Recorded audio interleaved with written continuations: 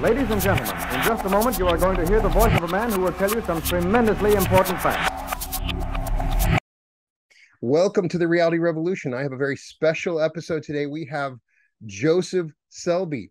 If you followed the podcast for a long time, you know I love to talk about physics and the psychology of the brain and its limits. And Joseph Selbie is on the very forefront, one of the uh, best authors on these subjects and much more. Joseph Selbie is the author of The Physics of God and an avid follower of the unfolding new paradigms of science. He is now uh, known for creating bridges of understanding between modern evidence based discoveries of science and the ancient experience based discoveries of the mystics.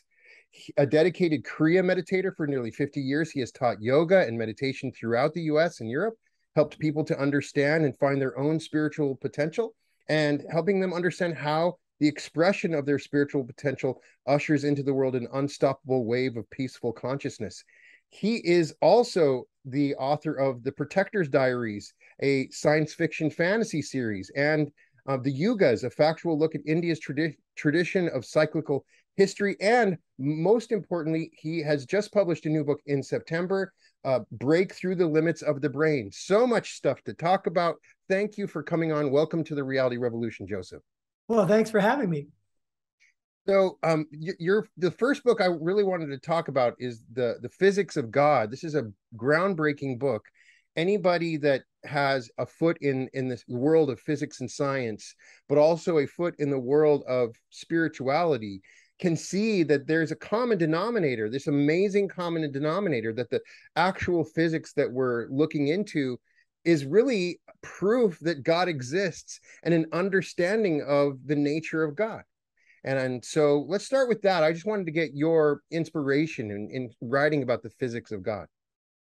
Well, I had met so many people, and I was myself one of them when I was younger, who were really convinced that uh, God was not a possibility, that uh, spiritual awareness was just something that people were making up, and that it was, uh, you know, at best superstition, at worst fraud.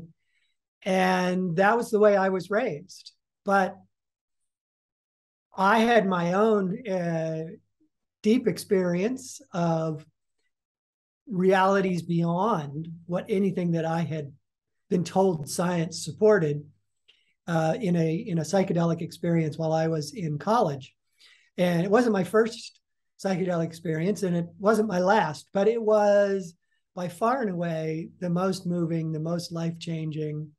Uh, I felt myself to be like the best self I had ever been. I was clear, I was calm, I was kind, I was thoughtful for days uh, after this experience. And my inner experience was just wonderful. So this put me on a path of trying to figure out what had I experienced and how can I keep experiencing it? You know, how can I bring that back? And I knew because I had been on all these other psychedelic uh, trips that psychedelics weren't reliable. It wasn't just a matter of taking more or taking it again or taking it in a certain environment.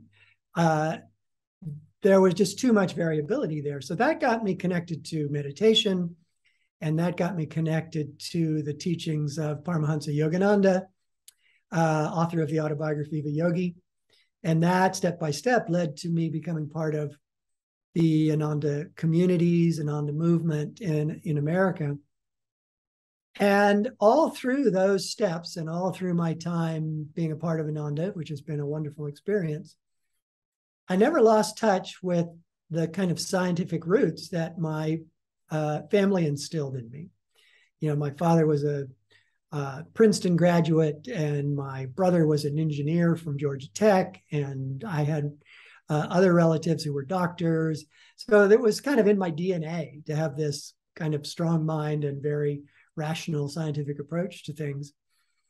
So I never really lost that. And I was extremely pleased to find that in the teachings of Yogananda, for those people who have read the autobiography of a yogi, you probably already know that he, back in the 19 late 40s when he was writing it, um, came out in 1946. he was already drawing parallels between uh, relativity and spiritual experience.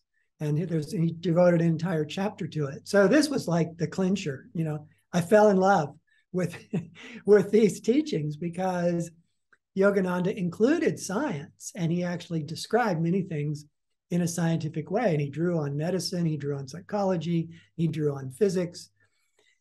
And so that really was a great fit for me. And then it was only later in life, after I'd had a family, raised my kids, kids were grown and gone, that I had a chance to put those two sides together that you talked about the, the scientific, the one foot in, in physics and the scientific method, and the other foot in spiritual experience. And that really is what the physics of God is. It was the marriage of those two experiences. And it was kind of the fruits of thoughts I'd had for decades about, you know, what is it that makes people think there's a separation between science and religion? And what are the key things, the key intersections that uh, explain the deeper connection between the two. One of my favorite chapters in, in the physics of God is the light show illusion of matter. Uh, just resonates with me because you get the sense and idea that everything is light and everything is the same substance um, that we can eventually at some point may perhaps monitor and but it's it's sort of an illusion um, uh, based upon our own sensory per- uh, perception of this light um, so talk a little bit more about that. What what we see around us as matter, what is your impression of it? Is it the same substance? Is it light? Is it uh, you know how with your expanded understanding of physics, how do we describe this to a layman who just thinks, hey, we just walk around in a physical universe, not understanding the power of light and what it means in our environment?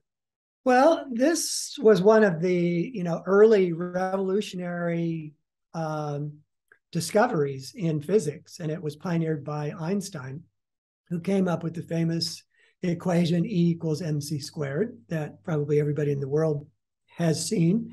Uh, perhaps don't know exactly what it means, but it's a condensation of the reality that all matter is condensed energy and that it's energy uh, held in uh, repeating patterns. So uh, an atom is surrounded by electrons that that rotate around the sphere of the the atom uh, perpetually. They're held there by the attraction of the nucleus, and the nucleus in turn is made up of moving energy, and it can be broken down into many, many parts, each one of which is itself energy. And no matter how far you break it down, no matter how many CERN colliders you have, large hadron colliders like they have in Switzerland, you're never going to find some irreducibly small bit of matter. It's all energy. So there's an old saw that people have probably heard that if you took all this out of the human body, if you took all the space that is between the orbiting electrons and the tiny, tiny little nucleus at the center of the atom, our entire body could be reduced to the size of the head of a pin. and even that bit, impossible to actually concentrate in that way, but even that small bit would still be energy, just super condensed energy. So everything we interact with, everything we see with our senses is essentially energy, but it also behaves like matter. There's a real uh, there's a reality to matter. It's not that it is an illusion in the sense that it's, you know, like a mirage. Rather, it's an illusion in the sense that it's not what it seems.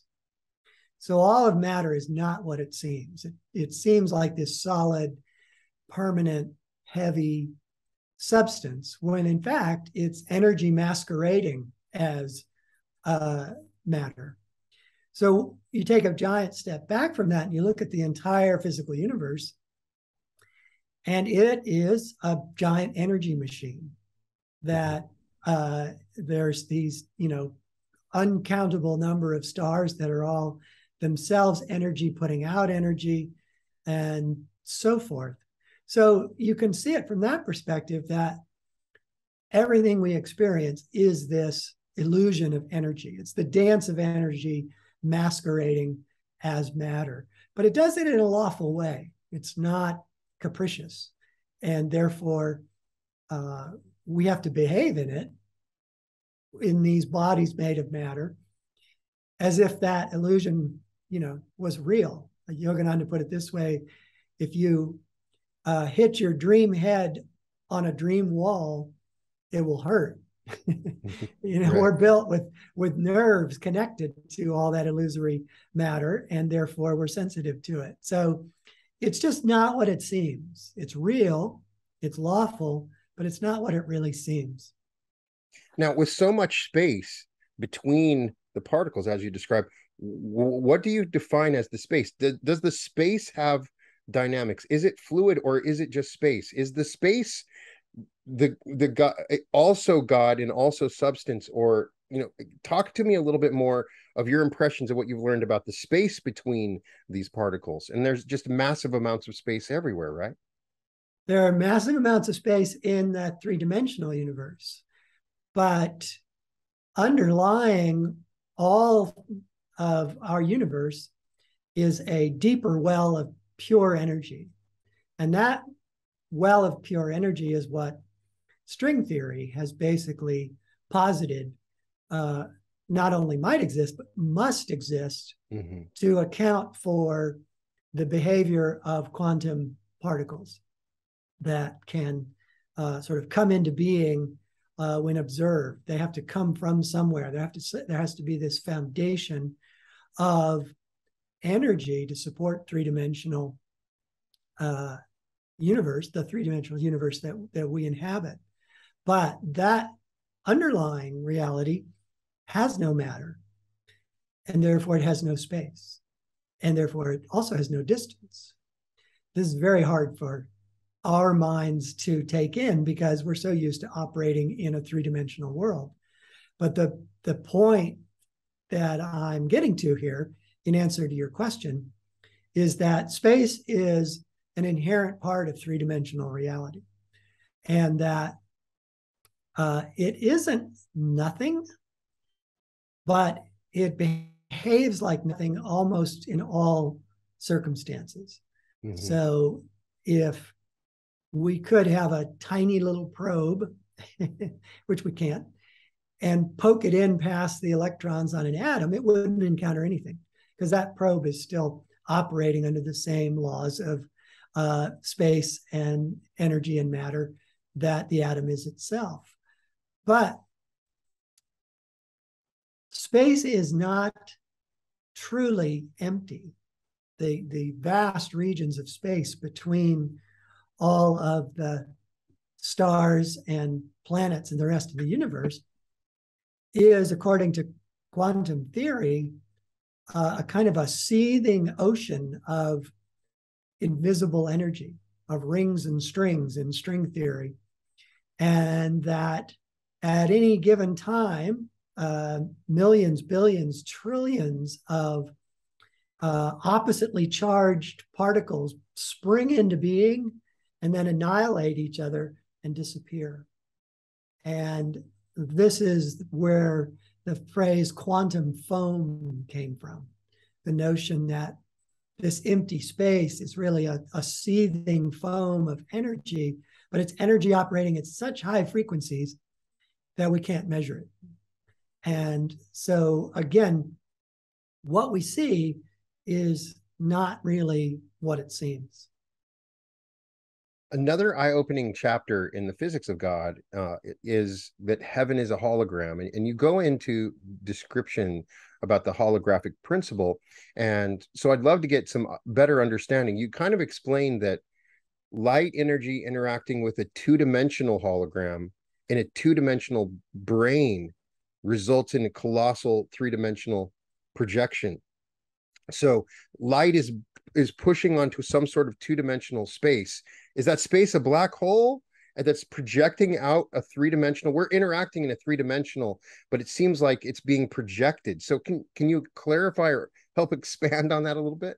Sure, uh, that's one of my favorite topics uh, in in regard to where uh, spirituality and science intersect, and right. it's exactly in this area. Um, a lot of how I understand it is based on the current conceptions that are known as M theory. So mm-hmm. M theory is one of the string theories. So it it too posits this vast uh, well, this vast ocean, this vast realm of pure energy. But M theory gives it a little more structure, which you were alluding to, that there are these layers known as branes. Now, brane is spelled B R A N E. Yeah.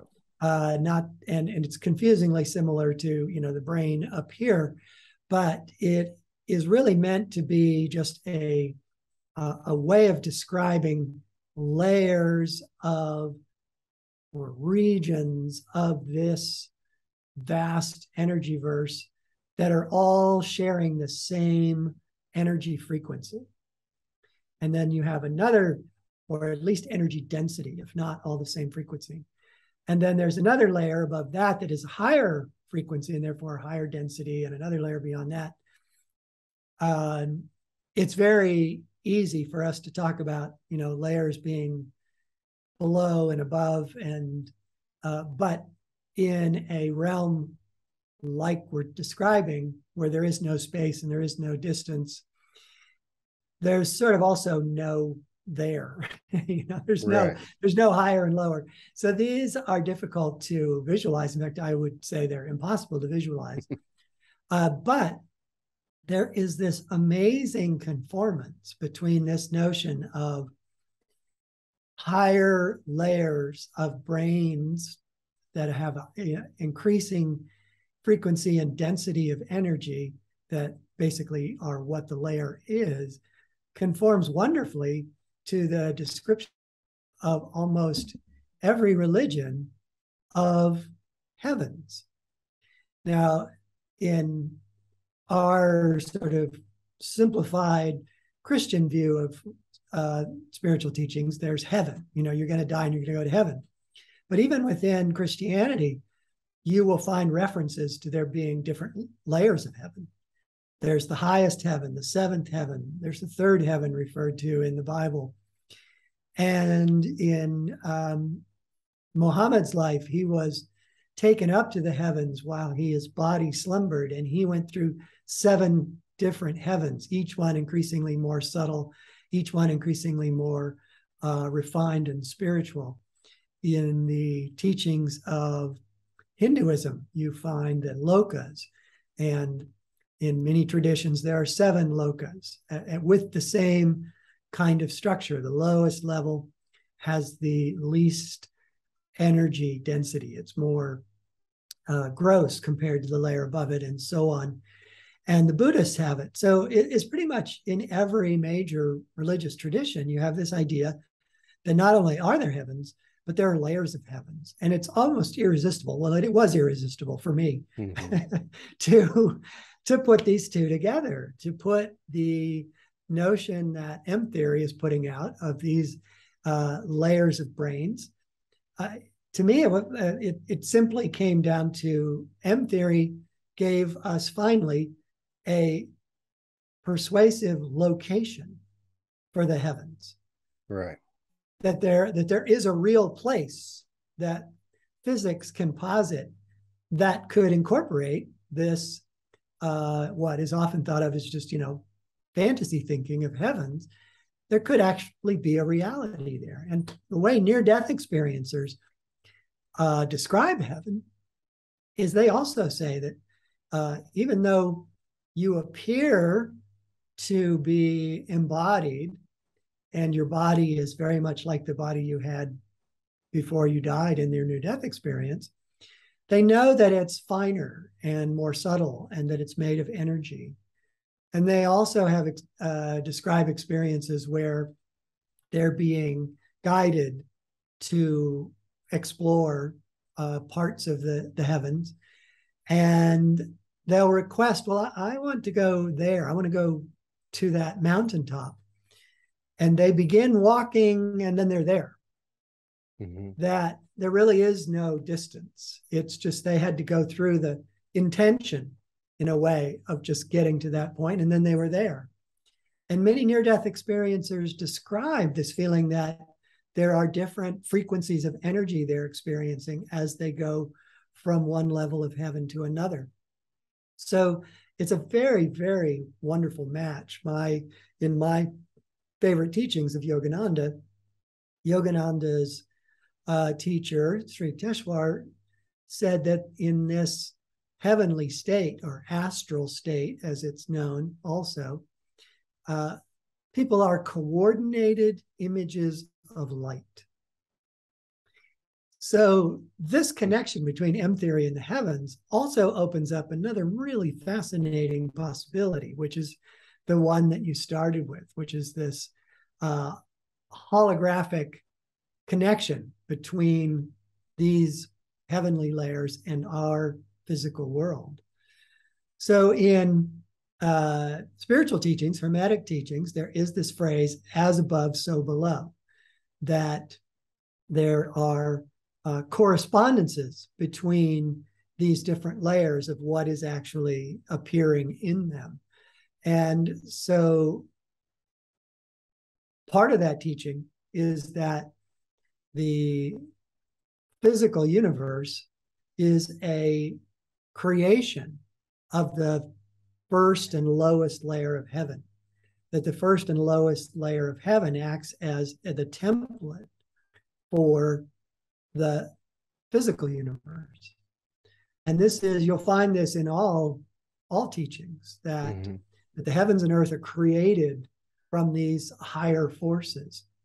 So in M theory, they came to the conclusion, and not just as a idle speculation, but they came to the conclusion that it's necessary for there to be a mechanism for these pure energy branes to have created the physical universe. And they began to speculate that the natural laws, uh, the templates, uh, the forms, some of the essentials of how our physical universe works actually originate in that energy verse in those branes, and that there is a holographic process of creation, according to, again, according to M theory. And it's very central to their whole theory. Mm-hmm. Um, you know, they, their whole theory falls apart if there is not this uh, holographic connection. So, again, irresistibly for me, I put this together with the Hermetic teachings and other teachings, which say the earth and uh, our entire world is created through this mechanism uh, that originates in heaven for this layer. And there are each layer of heaven above it creates the layer below it. This fits exactly what M theory came up with, which is that there exists in this ocean of energy, in the lowest brane, a hologram and it is this hologram combined with these high frequency energies of the energy verse of this vast realm of energy project the physical universe into being that is a three dimensional expression. And right. this also fits how holograms work on Earth, how we know about holograms. The hologram that creates the three dimensional uh, object, whatever it is. You know, if you've been to Disneyland, it's it's a ghost, right? The three dimensional ghosts appear on their rides and stuff. But the actual film that laser light is put through to create that three dimensional ghost is actually flat. It's a two dimensional mm-hmm. film. So that same principle is what is being, you know, vastly expanded by M theory into this notion that there's a two dimensional hologram that exists in these vast energy realms that has the coordinated images, let's call it that, that can then become, through that holographic projection mechanism, become the physical universe. And there are many implications to this that are just uh, mind boggling. One is, and perhaps the most significant, is it suggests that our entire universe is continuously created, not right. just once, not just some big bang, and then unfolds according to its own inherent laws into uh, what we know today, but that the entire physical universe is still being created by this projection mechanism. So this is fascinating on many levels, but a very significant and personal level for it is, is it also suggests that our physical body is a holographic projection. And that we have an energy body that is the hologram. Right. So it means we are in our expanded self continuously creating our physical body. And there's another portion of us that's separate, that's projecting ourselves. Is yes. That... Well, it's not even really separate. Right. That the the layers of reality that make up our soul match the layers of reality of creation. So we have a physical body, we have a subtle energy body, we have an even more subtle thought body, and then we have our innate connection, our innate reality as spirit, as the, the, the actual being that we are that inhabits these bodies, uses these bodies. But ultimately, we are formless, infinite, one with infinite God. And the, the as Yogananda described it, the ever new joy, the ever new bliss mm-hmm. that is God is, is our true nature. And we have uh, inhabited these various bodies for lots of different reasons, but we're always in them. So the body that is, uh, you know, nearest the physical body, if you will, the astral body, the energy body, we're still driving it. We're we're operating it all the time, and we just don't know it. We tend to only be aware right. of our physical body, and then because we're only aware of our physical body because we're caught up in what the senses tell us uh, we behave as if this is it you know we are just physical bodies and we can have physical experiences. And we begin to take for granted that there couldn't be anything beyond that. But that is belied by near death experiencers uh, the testimony of the saints uh, psychic experience that people have, that there is another realm that it's possible to be aware of, that our consciousness can be aware not just of the physical body, but of other more subtle realities simultaneously. And that we are, as I like to put it and put it in all my books, we are so much more than we know. we are just so yeah. much more than we know. And we can we can change that that's kind of the whole focus of my my new book break through the limits of the brain is uh, to encourage everybody to to meditate to get past this uh, physical light show uh, fireworks show that's going on in your brain and uh, realize that the, the deeper realities that are always there, that have always been, that are that are you. Yeah. So one thing I talk a lot about on my podcast, we, we do research on um, different channelings and uh, throughout history, going all the way back. A lot of them talk about us moving into a different density, um, shifting our either either our individual consciousness as we awaken or ascend or group consciousness as like the globe starts to move into a higher density so is it possible based on what you're saying that you could have a group consciousness where the locus of consciousness sort of shifts into a different density or different brane as you might call it. Is that is that something that's as we expand our understanding of the brain suddenly our consciousness is in a is is we perceive a different world than what we're in in this in this world that we're existing in now? Yes we definitely perceive a, another world. I mean uh, people who can astral travel or people who have had near death experiences you know they really are uh, in another realm in terms of how it looks to them and how they perceive it. And but that realm this is the part of what blows people's minds. Because it is two dimensional and because it has no space and no distance interpenetrates all of physical matter. Mm-hmm. and that's part of how the the mechanism of holographic creation is working is that uh, if you want to think of your astral body as the film and your physical body as the projection, imagine there's no distance between them. That that energy is just coming right into manifestation as your physical body. So we're always tapped into higher energy, but it's really a lot of what you're talking about is what you're choosing to perceive. So mm-hmm.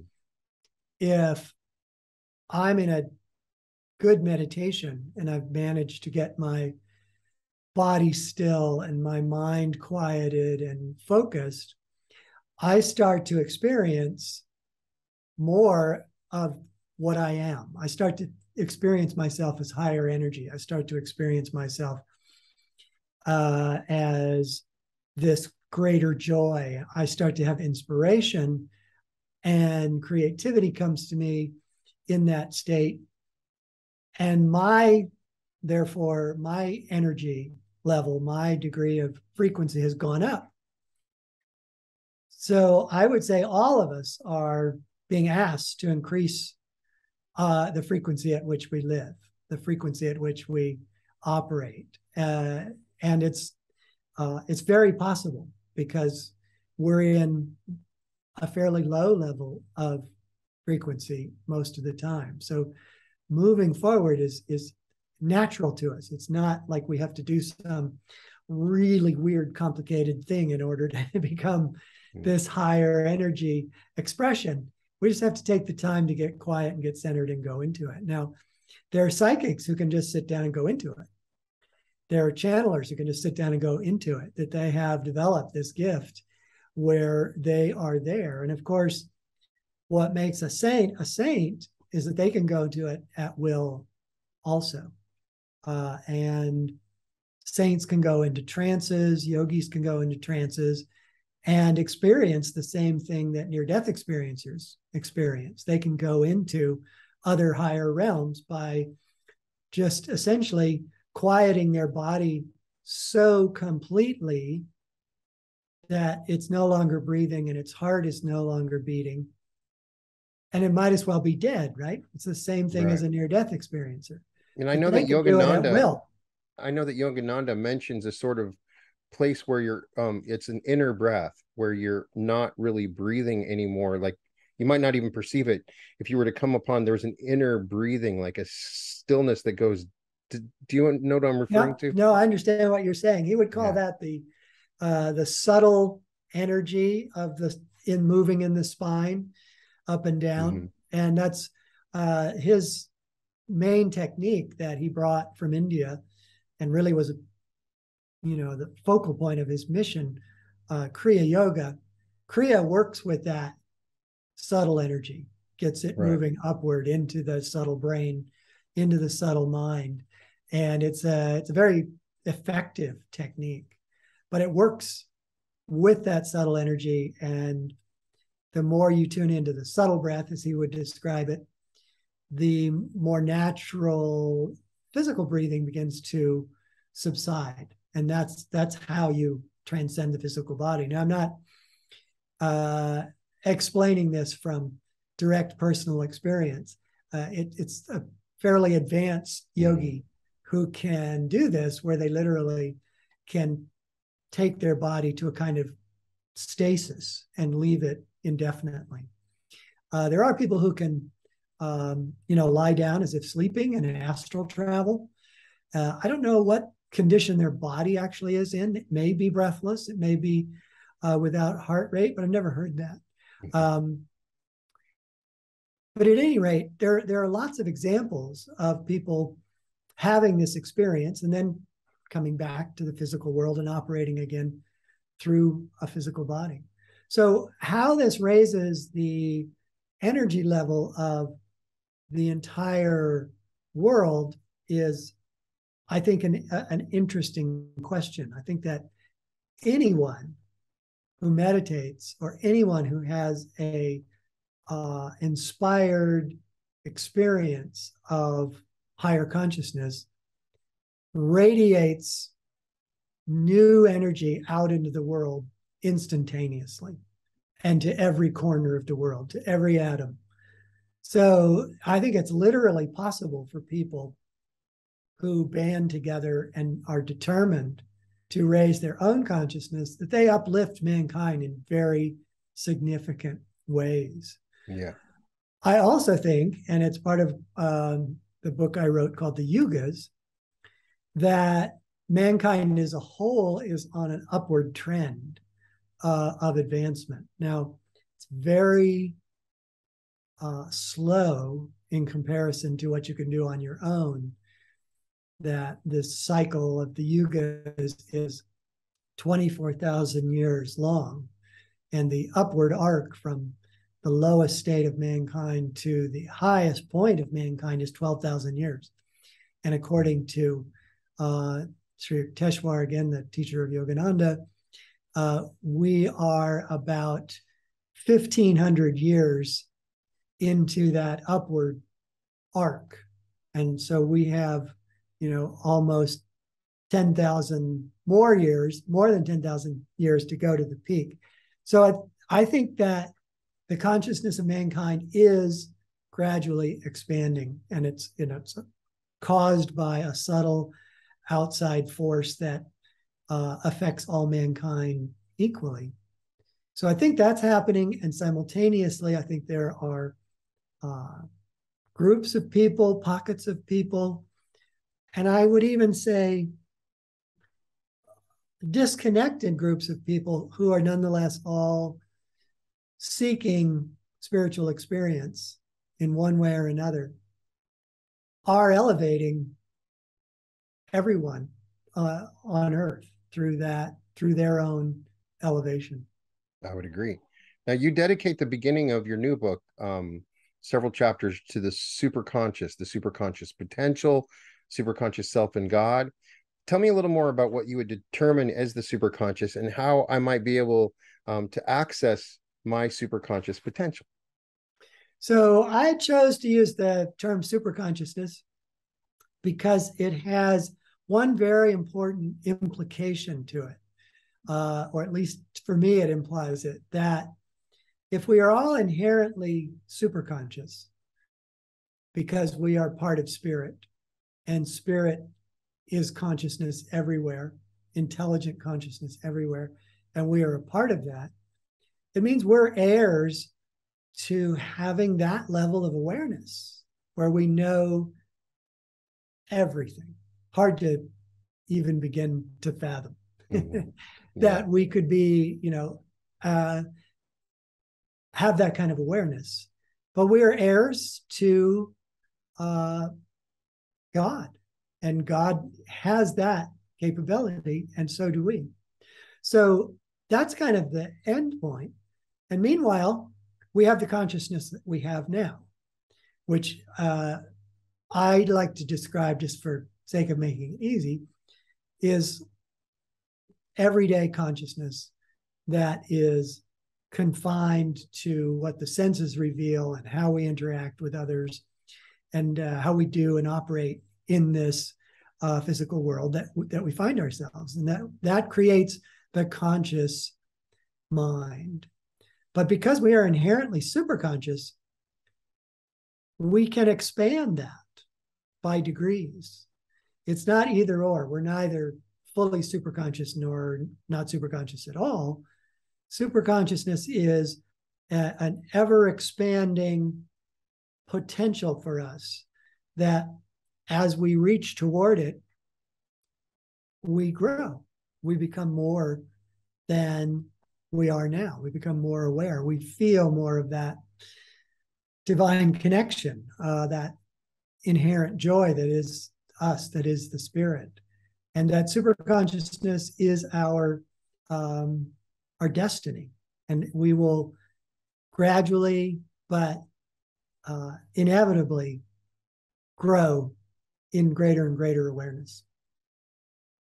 So we can this is all the the consciousness that we're experiencing is is limited by the conduit of our brain essentially and the and the senses that we have within it. And really that book that your most recent book is is sort of breaking through the limits of this brain that we that that is right now while we're in this body the kind of limit to our or our perceived limit to our consciousness. So you emphasize in the book meditation um, and relaxation as ways to go beyond or transcend the limitations of the brain correct? Yeah so the brain the brain is our friend and the brain is our enemy. Right. So without the brain uh, we would have to basically proceed with every action in the world as if we were doing it for the very first time, uh, which would mean that mankind as a whole would die out really fast. right. Uh, so, interest. It, it, was fascinating to me to learn. I had heard this in the past, but to to have it reaffirmed and to begin to understand why a little bit better, that human infants are the most helpful helpful um, help less of all creatures on earth. That we have almost no instinctive abilities. You know, there were arguments put forward that maybe it's just being able to suck so that you can get uh, nutrition is the only instinctive thing that we know how to do. Right. And so we start out as infants in this helpless, helpless state, and you know, we can see the adults around us and we can see that they're doing things and we start to try to mimic it. And in the process, the brain starts creating neural circuits that connect our actions. So, walking is perhaps the most interesting of those processes because uh, once we're adults, the circuit we created as an infant, you know, that that supported walking supports our walking today. It's the same, it's the same circuit. We built it, we keep using it.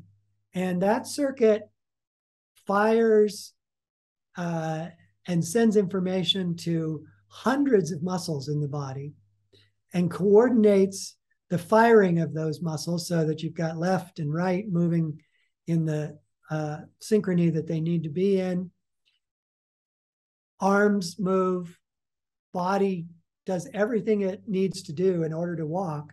And that circuit is made up of millions of connections to muscles, other circuits, other parts of the brain. It's fascinating. And we built it. you know, mm-hmm. uh, it made me realize that not everybody walks the same you've probably you know seen this or you know noticed wow that's a peculiar walk that person has i think they are all left over from the way in which we first learned to walk exactly. and we just kept using that for the rest of our life so this is the good side of the brain the brain will obligingly create neural circuits that support everything that we do repeatedly and so we get circuits that help us talk. They, we get circuits that, uh, you know, do every motor, every muscular thing that there is to do that we want to do. And then we have this complete set and it supports us for the rest of our life. But the brain also creates circuits that support all of our mental and emotional experiences.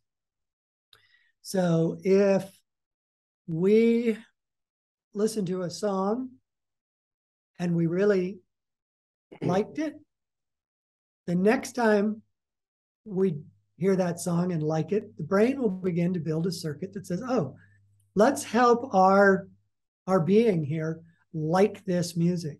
We're going to uh, make it easier for him or her to like this music when it's played. And eventually, when you hear that song, you really like it. It changes how you feel. It changes your emotional experience. It creates a whole chain of memories about how many times you've heard this song and in what situations.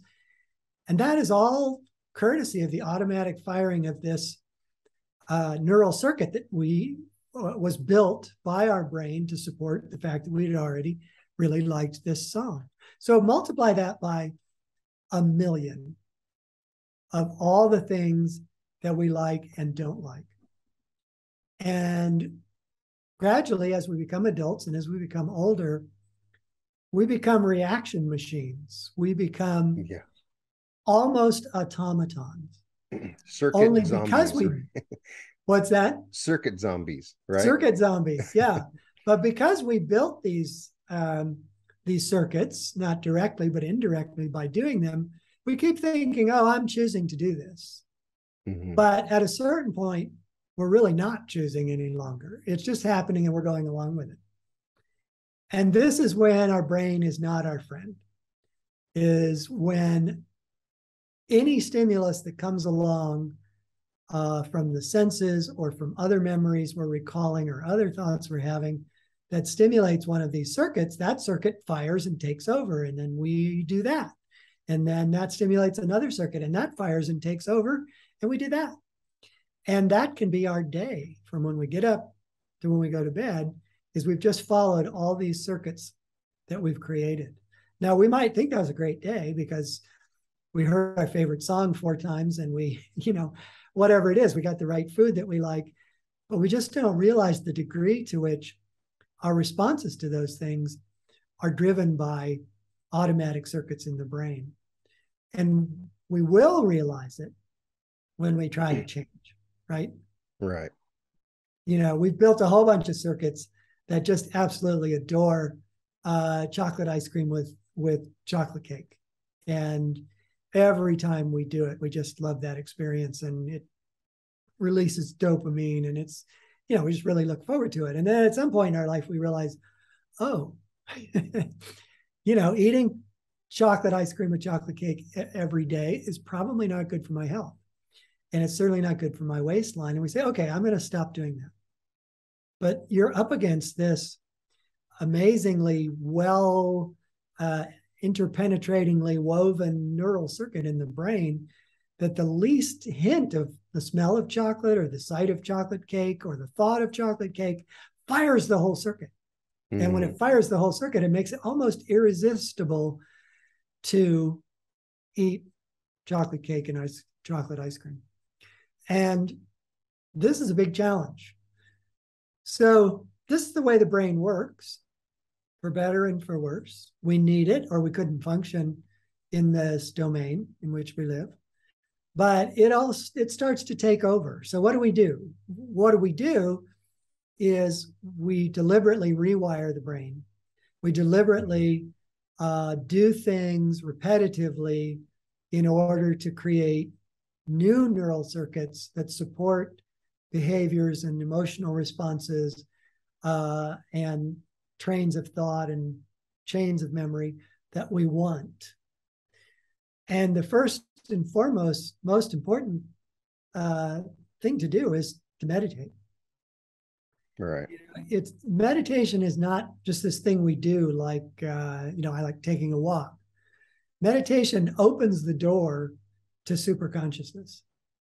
So rather than say, I'm going to meditate every day, you might say, I'm going to plug into super consciousness every day. Sounds better, doesn't it? Yeah, it does. And that's really what you're doing. By learning to meditate, it's a it's a portal, it's an opening. It gets you into that higher level of consciousness because meditation calms down the body, calms down the mind, and as soon as they are calmed, as soon as this fireworks show storm of reactions and actions that are propelling us through our day by these circuits, instead of that continuously happening, meditation calms us down. And as soon as it calms us down, we go, ah, this feels great. This feels wonderful. And you have those moments when your heart relaxes and you go, ah, okay, I can let go of all those things that were keeping me tense today. And then the joy increases and the peace increases. And all the while this is happening, your brain is going, oh, my my spirit likes this. Let's build circuits to support that experience. Mm-hmm. And so not only does meditation become easier to do because you have the neural circuit that supports that, the experiences you have while in meditation, the superconscious experiences, also get support from these neural circuits. And so you can have the best of both worlds if you can be uh, deliberate about rewiring the brain. You can have the best of both worlds where you have all the circuits you need to behave well, successfully, uh, interestingly, in the physical world that is what we're most aware of. But you can also have circuits that can take you into deeper superconscious awareness at will.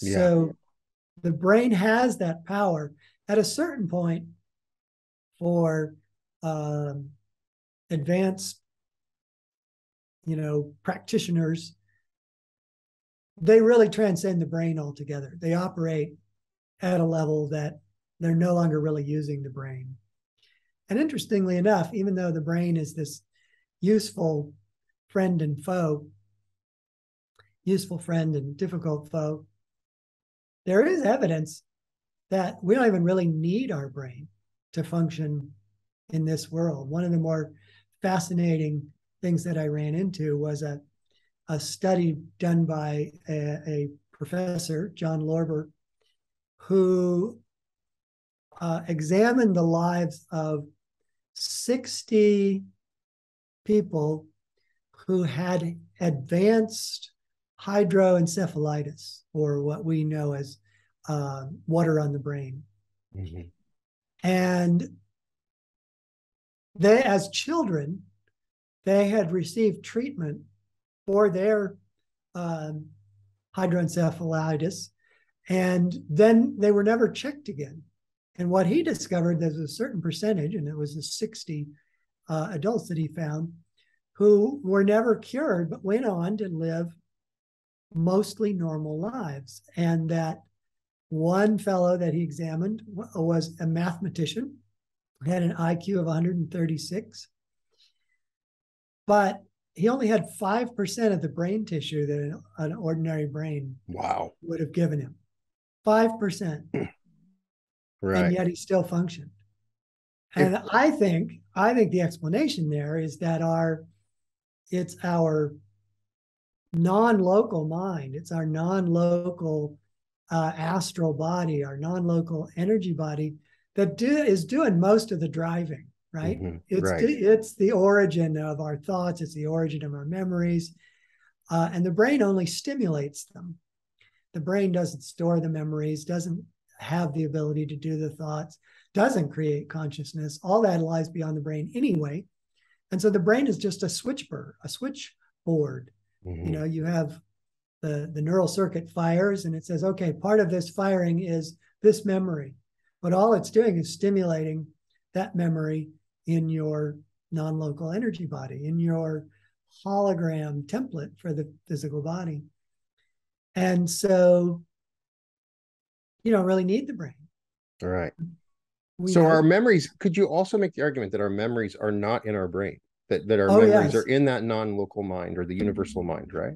Yeah, yeah. Um, Pribram, uh, Professor Pribram in Stanford, mm. uh, worked with uh, David Bohm, uh, a, a uh, quantum oh, yeah. physicist, and they did a lot of research based on some of the holographic information that was coming out of physics and that David Bohm was really interested in. And they determined that um, memory is not stored in any one place in the brain. Right. And that any part of the brain can stimulate certain memories. And they said the only way that this can be so is if memory exists non-locally. Uh, if it you know exists basically beyond the local physical neurons of the brain. So there is a lot of evidence to support that um, memory, thoughts are non-local, uh, but even emotions are mm-hmm. non-local, and that this very much fits the sort of classic definition of what the energy body is composed of in the you know teachings of yoga the energy body is composed of mind thought emotion and memory that's really what it is that's what gives it its form and that we're only uh, aware of those things because we're simultaneously non-local all the time we're existing in that non-local body all the time because it interpenetrates. It's just sandwiched together, if you want to think of it that way. Uh, it is everywhere present in this physical body, but it exists at a higher frequency and it exists in two dimensionality only. Impossible and as you visualize, I've tried to visualize it, but right. there's just you, no way to visualize it. And as you make the argument in the book, uh, you're you you never really dead because your body may die, but your your consciousness is in that non non-local mind so it would just naturally shift to that non-local mind right yeah well it doesn't even shift it doesn't shift there. it's already there right yeah. So when you drop the physical body um, many near-death experiencers have had this experience where they don't realize they're dead. Right. Because you know if they look at their hands and arms they seem to be the same kind of hands and arms they had. And um, the heaven that they ended up with, you know, might have trees and rivers, and uh, you know, they obviously know something had happened, but they don't right. necessarily put it together that they that they died. And then they gradually began to realize that, oh yes, this is this is the finer me. This is the um, this is the template that creates the physical me and has been creating the physical me all this time. And they have all their memories, they have all their thoughts, they, you know, they function in much the same way that they do here, but with that, with greater freedom, greater expansion, and they understand their their place in the universe. They understand their place in in the cosmos, not the universe. Um, it just kind of comes pouring in, right? You know, understanding, intuition, really just comes pouring in, and they realize you know why they incarnated in the first place what they've been doing with their lives what the heavens are and because this is not their first rodeo so to speak. They realized you know this is a more familiar home. It's more real than this uh, electric light show that is the physical universe. All these realizations come to them. But alas when we're born all that knowledge goes away and we have to kind of start over. Even near death experiences are told that certain things they've been um, told by higher beings, they'll forget. They'll forget. So the question is, why? Why would we choose to do this? To go from this amazing world where we have perfect memory and and and the finer body to this world of limitation? Uh, what is what would be the purpose for us to do that? Well, it's tough to answer because as you put it uh, i also feel it you know mm-hmm. why, why, is why is this happening why do i have to go through this right that it's it's good to say to god i didn't ask to be incarnated so you got to help me get out of it but as i understand the bigger picture i think that's our all of our personal reaction to it varies but is often the same. Some near death experiencers just refuse to go back. right. say, I, I no. And and it takes, you know, increasingly more powerful divine beings to come to them to really get them to understand within themselves that they need to go back. Right. Um, so I think that understanding can be found. I think that understanding uh, exists, but it's um, it takes time. So, Brian, you're sort of frozen. No, uh, I, I can still hear you. Can you hear me? I can hear you. I just right, wanted yeah. to make sure you could still hear me. Um, Um, yeah, so I it, it's been a, a wonderful conversation. We've covered so much, and I I probably could sit here and talk to you for several more hours. There's so many uh, more questions, and and and you've written two amazing books that address significant, important questions for somebody that's been raised with a scientific background like myself. That I, I'm constantly asking. Well, if there are people out there that are asking these questions, like physics says this, but then I'm experiencing this, I recommend reading Joseph's books. They're amazing, and we didn't even get a chance to talk about your sci-fi fantasy series, The Protector's Diaries. Um, and so I I hope that I can have you on again. Thank you for your patience and setting up this interview and and sharing so much knowledge. Everybody needs to get the book Break Breaking Through the Limits of the Brain. And you can find that on Amazon. I'll make sure to put a link in the description. Also, The Physics of God is absolutely fantastic. And thank you so much, Joseph, for coming on. uh, it's been my pleasure. Wonderful to talk with you. And welcome to the Reality Revolution.